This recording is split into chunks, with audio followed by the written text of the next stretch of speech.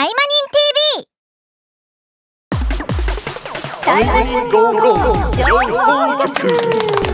TV どうやら世間は夏休みシーズンのようだが。画面の前のタイマニンたちはどうだ？もう夏休みかい？これからかい？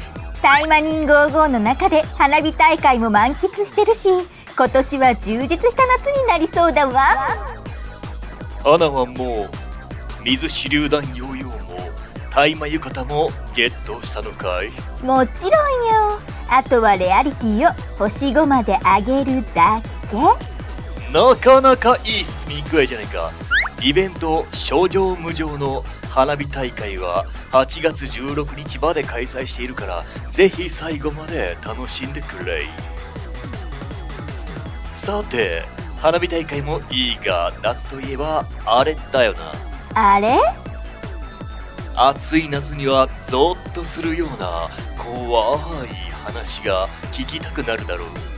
8月17日から新イベント納涼大麻人肝試しが開催だ。き肝試し？どんなお話なのかしら？五社町で近々開催される予定の肝試し大会。しかし最近会場に幽霊が出るという噂が安全のために大麻人たちが見回りに行くことになるが爆弾や花火で大騒ぎする気満々の大麻人もいて一抹の不安を覚える忍そして肝試し会場への道で明らかになる噂の真相とは？嫌だわ。私幽霊はちょっと苦手なのよ。イベントクエストに出てくる敵もどうやらお化けが多いみたいだワクワクするぜ。じゃあ早速イベントの紹介をお願いするわ。限定クエスト納涼大麻人肝試しに出撃してイベントアイテム納涼風鈴を集め期間限定アチーブメントを達成する。今回もイベント期間限定のアチーブメントを用意したぜ。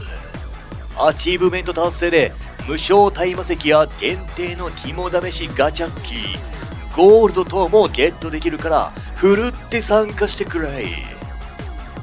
限定イベントクエストのボスを倒して特殊な合成素材をゲット。合成素材を使って限定武器スケアクロウの役乱を作成。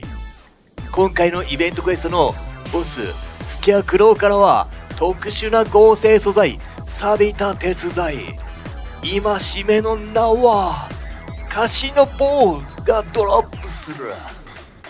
通常は同じ武器を3つ揃えて合成するだろう。だが今回のイベントではイベントページ下部にある素材合成で錆びた鉄材今しめの名はカシの棒を使い限定武器スケアクロウの薬難を作成することができる。どれか1種類の合成素材を集めるだけじゃこのスケアクロウの薬難は作れないから要注意だぜ。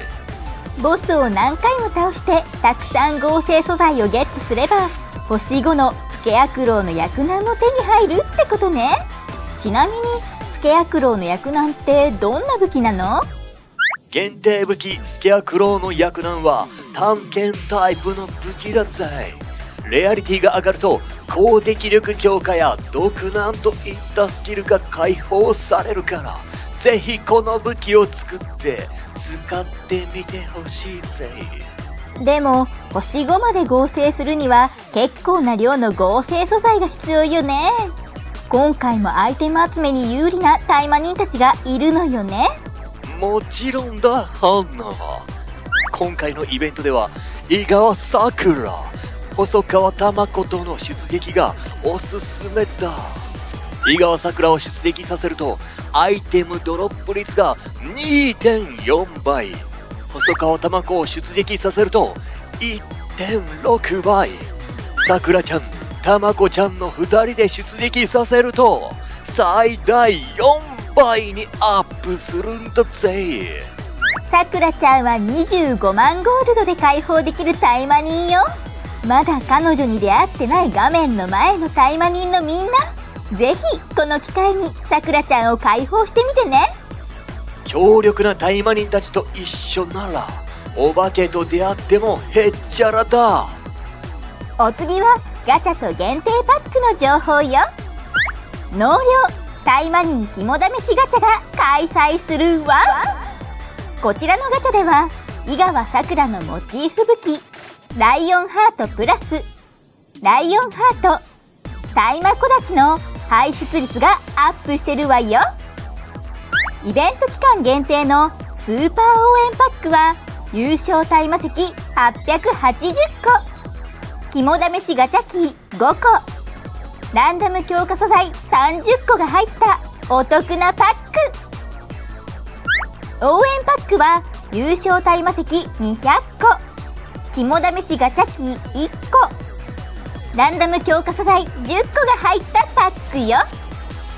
さらにさらに肝試し記念パックは優勝大魔石2600個肝試しガチャキー10個ゴールド2万枚武器強化素材60個が入った超お得パックよ。ガチャやパックもぜひチェックをよろしくお願いしたいまに。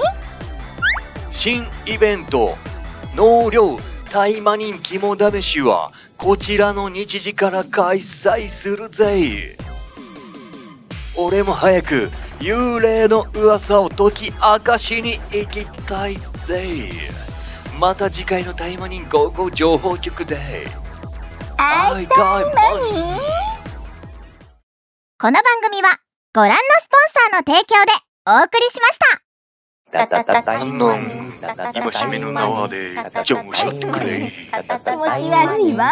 歌詞の棒でジョンを叩いてくれ。気持ち悪いわ。錆びた鉄材で鉄分を取らせてくれ。気持ち悪いわ